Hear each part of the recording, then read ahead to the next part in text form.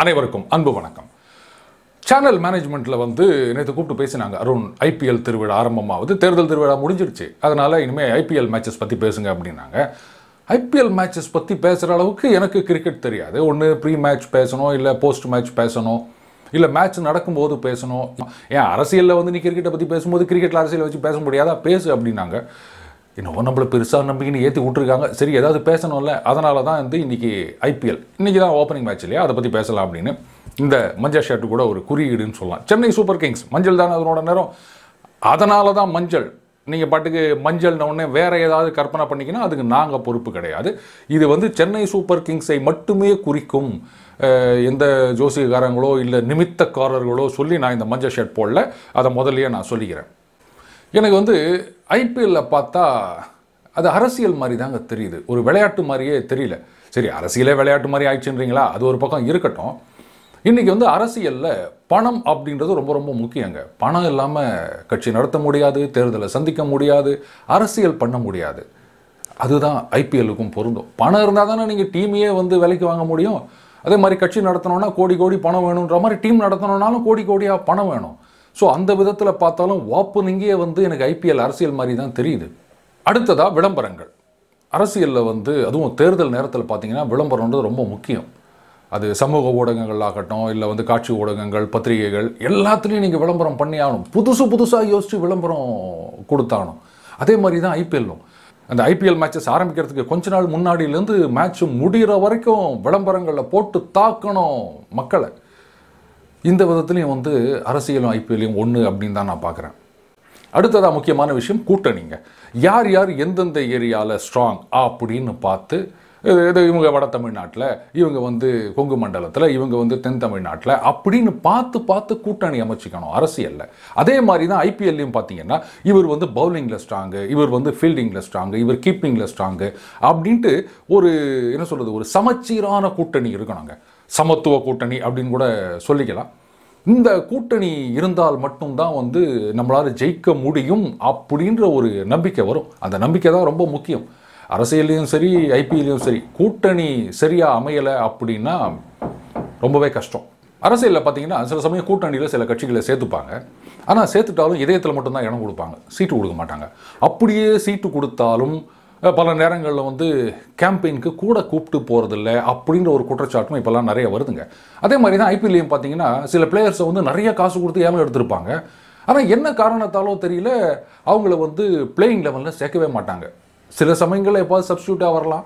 மற்றபடி ட்ரிங்க்ஸ் கொண்டு வந்து கொடுப்பாங்க இல்லை பேட் ஒஞ்சு போச்சுன்னா பேட்டை கொண்டு வந்து கொடுப்பாங்க. அப்புறம் எதுக்காக அவங்கள வந்து கூட்டணியில் ஐ மீன் ஐபிஎல் டீமில் சேர்த்தாங்கன்னு ஒரு சந்தேகம் வரும். முக்கியமான விஷயம். அரசியலில் வந்து அணிகள் அப்படின்றது கூட்டணின்றது என்றைக்குமே நிரந்தரம் கிடையாதுங்க. இன்றைக்கி நம்ம கூட்டணியில் இருப்பாங்க. அடுத்த தேர்தலுக்கு வேறு கூட்டணிக்கு போயிடுவாங்க அதனால் ரொம்பவே ஜாகிரதையாக இருக்கணும். சில பேர் வந்து ரொம்ப ஸ்ட்ராங் அப்படின்னு தெரிஞ்சால் சில கூட்டணி கட்சிகள் வந்து ரொம்ப ஸ்ட்ராங்னு தெரிஞ்சால் எப்படியாவது நம்மக்கிட்ட ரீட்டைன் பண்ணிக்கணும். அதே மாதிரி தான் ஐபிஎல்லையும் இந்த சீசனில் உங்ககிட்ட இருக்கலாம் அடுத்த சீசனில் இன்னொருத்தர்கிட்ட போகலாம் இதில் இன்னொரு டேஞ்சர் என்ன அப்படின்னா நேற்று வரைக்கும் நம்ம கூட்டணியிலேருந்து ஐ மீன் நம்ம டீம்லேருந்து இன்றைக்கி வேறு டீமுக்கு போகும்போது நம்மளுடைய ஸ்ட்ரென்த் என்ன வீக்னஸ் என்ன அப்படின்றதெல்லாம் அவங்களுக்கு நல்லாவே தெரியும். ஸோ இதெல்லாமும் வந்து நம்ம கால்குலேட் பண்ணி தான் நம்மளுடைய ஸ்ட்ராட்டஜியை ஃபார்ம் பண்ணணும். தேர்தல் பிரச்சாரம் போது பார்த்தீங்கன்னா சில பேர் உணர்ச்சி வசப்பட்டு வாயை விட்டுருவாங்க தேவையில்லாத வார்த்தைகளை பேசிடுவாங்க அந்த மாதிரி விஷயங்கள்லாம் எலெக்ஷன் கமிஷன் நாலேஜுக்கு போகும்போது புகார் கொடுப்பாங்க அவங்க வந்து நோட்டீஸ் அனுப்புவாங்க. இல்லை நாங்கள் அப்படி பேசலை இப்படி பேசலை அப்படின்னு சொன்னால் அவங்க என்ன பண்ணுவாங்க? ஒரு நாற்பத்தெட்டு மணி நேரம் பேன் இல்லைன்னா ஒரு வாரம் பேன் அப்படின்னு பேன் பண்ணுவாங்க. அவ்வளோதான் வேறு ஒன்றும் பெருசாக அவங்க ஒன்றும் பண்ணுறது கிடையாது. இல்லை இவர் வந்து தேர்தலையே போட்டியிடக்கூடாது அப்படின்ற மாதிரிலாம் இது வரைக்கும் தண்டனை கொடுத்த மாதிரி தெரியல.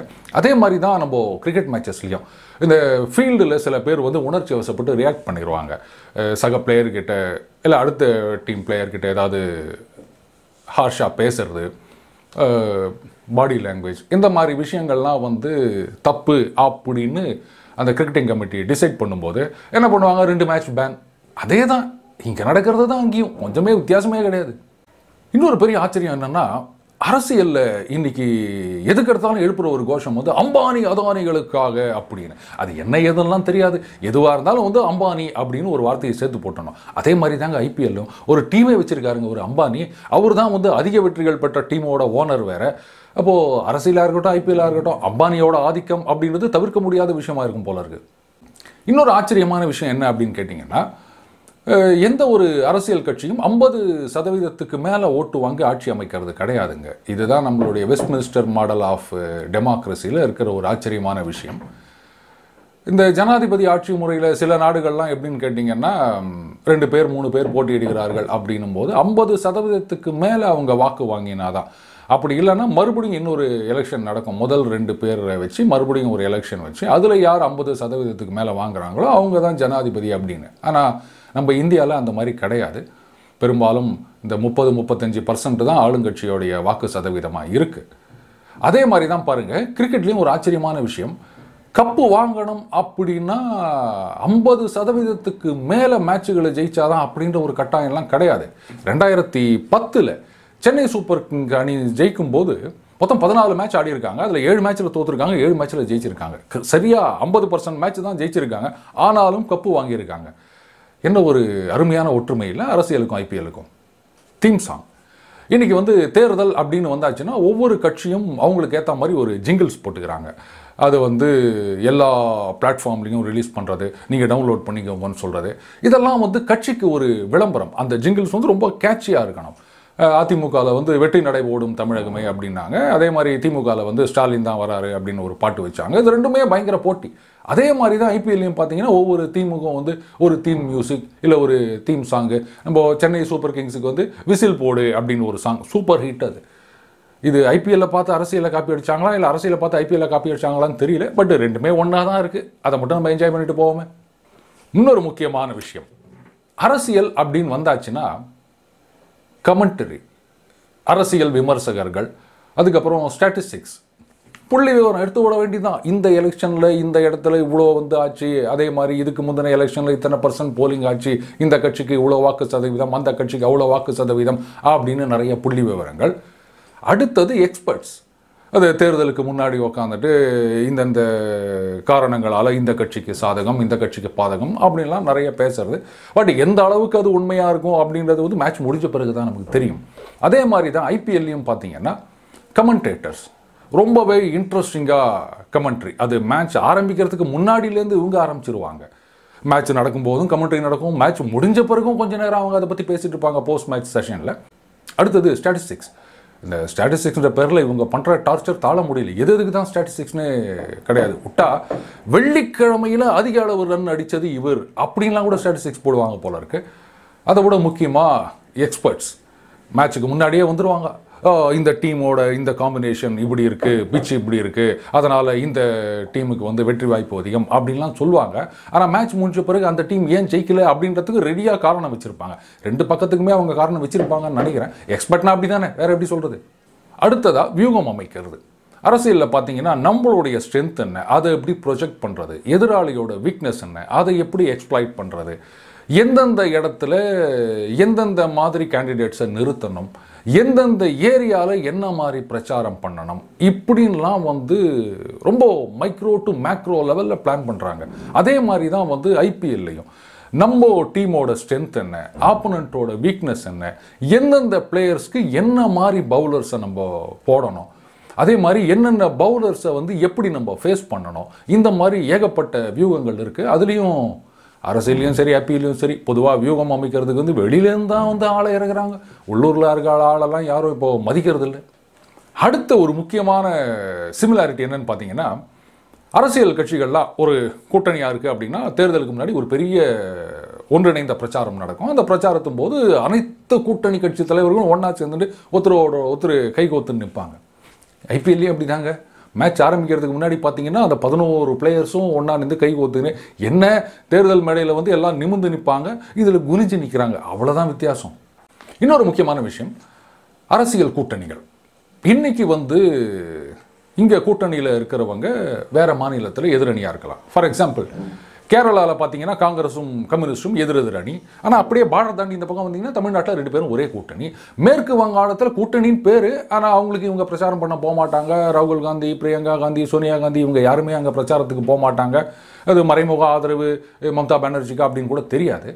அதே மாதிரி தாங்க ஐபிஎல்லையும் இப்போ சிஎஸ்கேவே எடுத்துக்கோங்க. பிரேவோ வந்து வெஸ்ட் இண்டீஸ் பிளேயரு இந்த நம்ம சிஎஸ்கேவோட மற்ற பிளேயர்ஸோட ரொம்ப ஜாலியாக சிரித்து பேசிட்டு ஒன்றா வந்து விளையாடுவாங்க. ஆனால் அடுத்து வேர்ல்டு கப் வரும்போது அவர் அந்த வெஸ்ட் இண்டீஸ்க்காக தான் பாடுபடுவார். அது இப்படி தான் இங்கே கூட்டணி அங்கே எதிரணி. இது அரசியல் ஐபிஎலுக்கும் கொஞ்சம் கூட வித்தியாசமே இல்லை பார்த்தீங்களா செக்குலரிசம் அரசியலில் வந்து ரொம்ப முக்கியமான ஒரு விஷயங்க அது என்னதான் நீங்கள் வந்து மத அடிப்படையிலான கட்சிகளை கூட்டணியில் சேர்ந்துக்கினாலும் நாங்கள் வந்து மதச்சார்பற்றவாதிகள் அப்படின்னு சொல்லிக்கணும். அந்த மதச்சார்பற்ற அப்படின்ற வார்த்தை இல்லாமல் இந்திய அரசியலே கிடையாது. அதே மாதிரி தான் ஐபிஎல் கூட பாருங்களேன். அந்த மொயின் அணி என்ன பண்ணியிருக்காரு? அந்த ஜெர்சியில் ஏதோ ஒரு லோகோ அந்த லோகோ என்னுடைய கொள்கைகளுக்கு எதிராக இருக்குது அப்படின்னு சொன்னோடனே தூக்கிட்டாங்க. அதனால் அந்த மதச்சார்பற்ற செக்யூலரிசம் அப்படின்றது வந்து அரசியல் ஆனாலும் ஐபிஎல் ஆனாலும் ஒரே மாதிரி தான். வித்தியாசமே கிடையாது. அடுத்தது முக்கியமான விஷயம் என்னன்னு கேட்டிங்கன்னா தேர்தல் பிரச்சாரங்கள் போது முன்னாடிலாம் வந்து அந்தந்த மாநில தலைவர்கள் மட்டும்தான் பிரச்சாரத்துக்கு வருவாங்க. ஆனால் இப்போ பாஜக காங்கிரஸ் இந்த இரண்டு கட்சிகளுமே என்ன பண்ணுறாங்க வெளிமாநிலத்திலிருந்து தலைவர்களை கொண்டு வராங்க. காங்கிரஸை பொறுத்த வரைக்கும் வெளிமாநிலத்தில் வர தலைவர்கள் அப்படின்னா கட்சி தலைவர்கள். சோனியா காந்தி ராகுல் காந்தி பிரியங்கா காந்தி. இந்த மூணு பேரை மட்டும்தான் பெரும்பாலும் கூப்பிட்டு வராங்க. அது கூட பிரியங்கா காந்தி இங்கே ஒன்றும் பெருசாக பிரச்சாரம் பண்ண மாதிரி தெரியல. ஆனால் பாஜகவை பொறுத்த வரைக்கும் யோகி ஆதித்யநாத் வராரு ஜேபி நட்டா வராரு அமித்ஷா வராரு. அதே மாதிரி தான் ஐபிஎல்லையும் ஃபாரின் பிளேயர்ஸ் அதுலேயும் ஒரு ரெஸ்ட்ரிக்ஷன் வச்சுருக்காங்க. பிளேயிங் லெவனில் எத்தனை பேர் இருக்கலாம் அப்படின்னு. பட் ஃபாரின் பிளேயர்ஸ் இருந்தால் தான் அந்த டீமுக்கே ஒரு ஜோஷ் வருது அப்படின்னு. அது மட்டும் இல்லை அந்த இன்ட்ராக்ஷனில் வந்து அவங்களுடைய டெக்னிக்ஸ் இதெல்லாம் இம்ப்ரூவ் பண்ணிக்கலாம் அப்படின்னு. அதுவும் வந்து ஒரு சக்ஸஸ்ஃபுல் ஃபார்முலா அப்படின்னு தான் சொல்லணும். அடுத்தது ஸ்பின் இந்த அரசியலில் ஸ்பின் அப்படின்னா நான் ஏதாவது ஒன்று சொல்ல வேண்டியது. சொல்லிட்டு நான் அப்படி சொல்லலை இப்படித்தான் சொன்னேன். அதை வந்து திரித்து பேசிவிட்டார்கள் அப்படின்னு சொல்லணும். இதுக்குன்னே ஸ்பின் டாக்டர்ஸ்னு நிறைய பேர் இருக்காங்க. ஏதாவது ஒரு இஷ்யூவில் வந்து பிரச்சனை பெருசாக போகும்போது அதுக்கு ஒரு ட்விஸ்ட் ஒன்று கொடுத்து அது இப்படி இல்லை இப்படித்தான் அப்படின்னு. இல்லை வந்து எதிரணிக்கு பாதகமாக ஒரு விஷயம் இருக்குது அப்படின்னும் போது அதுக்கு ஒரு ட்விஸ்ட் கொடுத்து அவங்கள டேமேஜ் பண்ணுற மாதிரி. இதெல்லாம் வந்து இந்த ஸ்பின் டாக்டர்ஸோட வேலை நிறையவே இருக்குங்க. அதே மாதிரி கிரிக்கெட்லேயும் பார்த்தீங்கன்னா ஸ்பின் அப்படின்றது ரொம்ப ரொம்ப முக்கியம். இப்போ சமீபத்தில் இந்தியா இங்கிலாந்து மேட்ச் நடக்கும்போது ஸ்பின்னர்ஸ் தான் வந்து ஜெ- ஜெயிக்க வச்சாங்க அப்படின்னு அது ஒரு பெரிய குறையாவே சொன்னாங்க. ஏங்க ஸ்பின் பவுலிங் அப்படின்றதும் பார்ட் ஆஃப் கிரிக்கெட் தானே? அப்புறம் என்ன ஸ்பின் பவுலிங்கில் விக்கெட் எடுத்தால் அதை வந்து தப்புன்னு சொல்கிறது அதனால ஸ்பின் அப்படின்றது ரெண்டு இடத்துலையுமே முக்கியம். கடைசியாக அரசியலில் வந்து எப்போவுமே கூட்டம் சேர்றதை பார்த்து அது ஓட்டாக கன்வெர்ட் ஆகும் அப்படின்னு மட்டும் நம்ம நம்பிடக்கூடாதுங்க. பல கட்சிகளுக்கும் பல கட்சி தலைவர்களுக்கும் பார்த்தீங்கன்னா மக்கள் கூட்டம் அப்படின்றது ஏராளமாக இருக்கும். ஆனால் அது ஓட்டாக டிரான்ஸ்லேட் ஆகிறது கிடையாது. அதுக்கு பல காரணங்கள் இருக்கலாம். ஆனால் கூட்டத்தை மட்டுமே வச்சு இவங்க தான் ஜெயிப்பாங்க அப்படின்னு நம்ம முடிவுக்கு வந்துடக்கூடாது. இதை நம்ம பல தேர்தல்களில் பார்த்துருக்கோம். பல அரசியல்வாதிகளும் இதை ஒத்துட்ருக்க ஒரு விஷயம். அதே மாதிரி தான் ஐபிஎல் மேட்சஸ் ஆடும்போது பார்த்தீங்கன்னா சிஎஸ்கே வெர்சஸ் அதர் டீம் அப்படின்னும் போது சப்போர்ட் வந்து அக்ராஸ் த கண்ட்ரி சிஎஸ்கேக்கு தான் அதிகமாக இருக்கும். ஆனால் சிஎஸ்கேவை விட மும்பை இந்தியன்ஸ் தான் பல தடவைகள் கோப்பைகள் வென்றிருக்காங்க. அதே மாதிரி சிஎஸ்கே வந்து நிறைய தடவை தோத்து போயிருக்காங்க. ஸோ மக்கள் ஆதரவு மட்டுமே ஒரு டீமோட வெற்றி தோல்விக்கு காரணமாக இருக்காது அப்படின்றது அரசியல் மாதிரியே ஐபிஎல்லையும் ஒரு நிஜமான விஷயம். நன்றி நண்பர்களே என்னை பொறுத்த வரைக்கும் ஐபிஎல்லுக்கும் அரசியலுக்கும் பெரிய வித்தியாசம் இருக்க மாதிரி தெரியல. இன்ஃபேக்ட் அரசியல் அப்படின்றது வந்து ஐபிஎல் இல்லைங்க எல்லா விஷயத்துலையும் இருக்குது எங்கே அரசியல் இல்லை சொல்லுங்கள் நம்ம என்ன நினைக்கிறோம்? அரசியல் அப்படின்னா அது வந்து கட்சிகள் ஆட்சி தேர்தல் இப்படி தான் நினச்சிட்ருக்கோம் அப்படி இல்லைங்க. இப்போ நீங்கள் ஒரு அப்பார்ட்மெண்ட்குள்ளே இருக்கீங்கன்னா அந்த அப்பார்ட்மெண்ட்டுக்குள்ளே ஒரு அரசியல் இருக்கும். ஆஃபீஸில் ஆஃபீஸ் பாலிடிக்ஸ்னு எவ்வளோ இருக்குது எங்கள் ஃபேமிலி பாலிடிக்ஸ்னு எவ்வளோ இருக்குங்க? இந்த அக்காவுக்கு அந்த தம்பி ஆகாது இவருக்கு இந்த மச்சான் ஆகாது அவருக்கு அந்த மாமா ஆகாது இவங்க ரெண்டு பேருக்குள்ளேயே ஒத்து போகாது. இப்படி எல்லாத்தையும் அட்ஜஸ்ட் பண்ணிட்டு போகிறதானுங்க அரசியல். அதனால் அரசியல் அப்படின்றது வந்து எல்லா இடங்கள்லையும் ஒரு நீக்கமர நிறைந்திருக்கும் ஒரு விஷயம். அதை வந்து தினம் தினம் நம்ம கற்றுக்கணும் அப்போ மட்டும்தான் வாழ்க்கையில் முன்னேற முடியும். மீண்டும் மருத்துவர்கள் சந்திப்போம். வணக்கம்.